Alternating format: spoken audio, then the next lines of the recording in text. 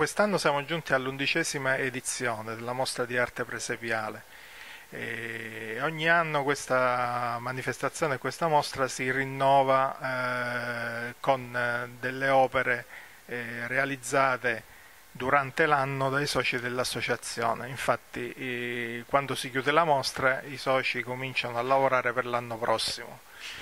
La mostra è composta da tre settori. Il primo settore è dedicato ai presepi aperti, cosiddetti che sono visibili eh, almeno da tre lati, e poi un'altra sezione dedicata ai diorami, che sono quei presepi che vengono visti attraverso un boccascena per creare più effetto di profondità e, e fare in modo che chi guarda la scena sembra di essere all'interno proprio del, del presepe. E poi un altro settore è dedicato invece alle sculture eh, con una sezione dedicata ai presepi antichi con dei bambinelli di cera, dei pastori eh, di fine Novecento, eh, curata dall'associazione Amici del Museo.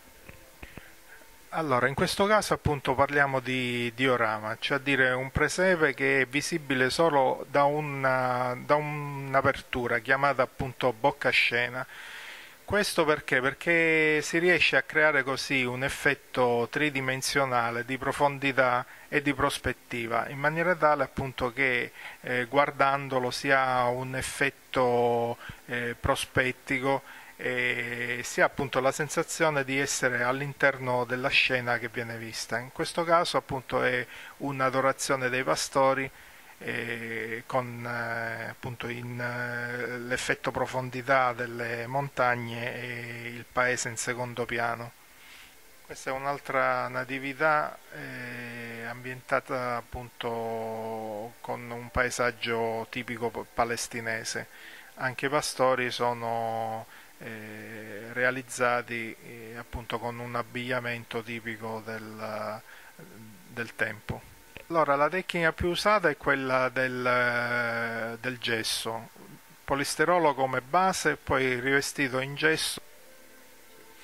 Quindi il diorama in pratica non rappresenta necessariamente la scena della natività, ma può rappresentare i vari passi del Vangelo. In questo caso vediamo appunto la fuga in Egitto, dove si vede eh, attraverso le aperture di un tempio egizio Maria e Giuseppe con l'asino che appunto eh, vanno via da, da Betlemme in fuga verso l'Egitto.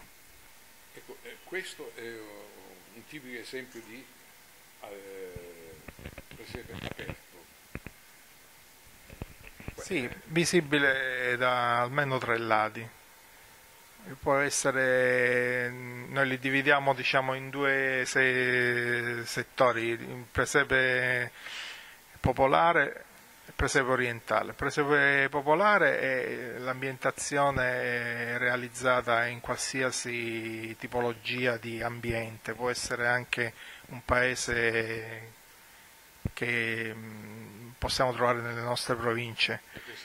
E questo è un esempio, oppure può essere oppure appunto il presepe orientale dove invece c'è una collocazione storica dove bisogna far fede a quelli che erano appunto i paesaggi palestinesi dell'epoca di Gesù con la ricostruzione delle, delle case, delle, dell'ambiente appunto tipico di quel periodo.